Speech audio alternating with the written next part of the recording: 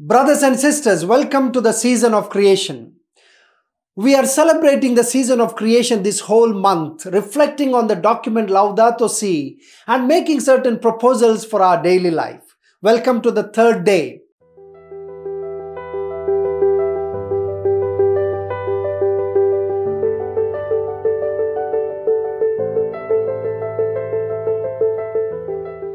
Since everything is interrelated, concern for the protection of nature is also incompatible with the justification of abortion. How can we genuinely teach the importance of concern for other vulnerable beings, however troublesome or inconvenient they may be, if we fail to protect a human embryo, even when its presence is uncomfortable and creates difficulties? Pope Francis wants to make it very clear that the discussion on the care of creation is not without the discussion of human beings. So we cannot think of defending the vulnerability, weakness of the creation without thinking of the vulnerability and the weakness and the problems of the human embryo. Today, there are movements which are very vocal about abortion.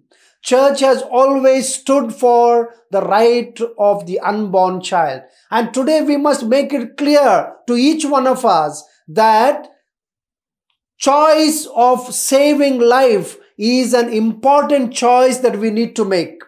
We must begin to think that abortion is not the way forward. Abortion is not the church way of life.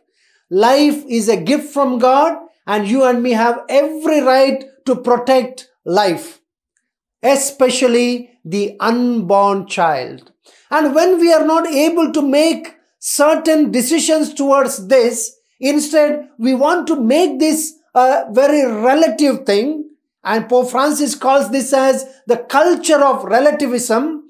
We must realize, brothers and sisters, that to the extent that we think of an unborn child which is weak and vulnerable, so also the care of creation. If we do not take care of what is our own, how much will we bother what is not really our own? But Mother Nature today cries out, just like the unborn, for care, for protection, for good decisions. And this is my duty, your duty. On this third day, I offer you some suggestions. Open up your blinds or the curtains at the window to enter, to make natural light enter into your room. Switch off lights when the sun is shining. You all will get to enjoy some more sunshine in life. Opt to receive digital letters, emails instead of paper notices and letters plant something that gives life, to nurture some plant today, or visit a plant or a tree, observe, make a reflection, talk to a tree or a plant. It will help you. In this way, simple ways, we are going to promote our concern, our care, our thinking towards the good of our creation. God bless you.